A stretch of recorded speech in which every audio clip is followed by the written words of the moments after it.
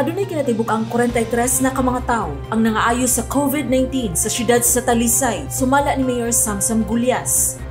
Sa unang adlaw sa Modified Enhanced Community Quarantine kung MECQ sa Talisay City ni adtong Hunyo 16. Matod sa mayor, dugang pito ka mga tao ang nangaayo sa COVID-19 sa ilang syudad gikan sa 36.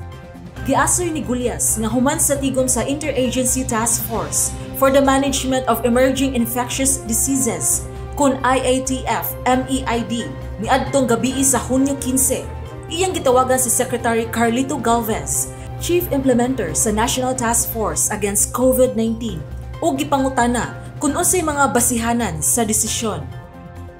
Gitugan ni Galvez ngadto sa mayor nga base kini sa data nga gihatag sa Department of Health sa Central Visayas nga nagpakita nga kinahanglan silang ipaubos sa MECQ. I saw data being posted in the face, in Facebook today.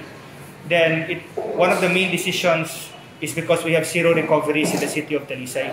I just like to correct that. Um, we have 59, we have 59 active cases, and we have 43 recoveries.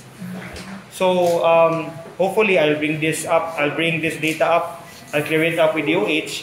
Then, um, with the help of COV, maybe we can hopefully, um, maybe they can look at the, the, the new data because um, they made a decision saying we have zero recoveries. Giangko ni Gulyas nga nasurpresa siya sa maong desisyon apan iya kining tumanon. Of course, I was surprised because there are other cities in the province, there are other cities that have more cases than me and are under in a GCQ. So I was surprised that mo na sitwasyon um, with 43 recoveries as well. Human sa deklarasyon sa IATF MEID, nagtigom si Gobernador Gwen Garcia, Gulyas ug Cebu Police Provincial Office Director Roderick Mariano sa Kapitolyo ni adtong Hunyo 16. Gibutiyag ni Gulyas nga tigumon og balik sa gobernador ang mga mayor sa probinsya aron hisgutan ang bagong deklarasyon sa IATF MEID. Sa iyang post sa iyang Facebook page ni atong Hunyo 16, nangayong pasaylo si Gulyas sa katawhan sa Talisay. Sa kalisod nga ilan na usab maagian karon nga nahibalik na usab sila sa MECQ. Siya nagtuo nga ang 16 ka tawo nga nangamatay nga narehistro sa ilang syudad. Dunay dako nga papel sa rekomendasyon sa IATF tungod sa pagsulbong sa bagong mga kaso sa COVID-19 ug halapad nga community transmission sa mga barangay.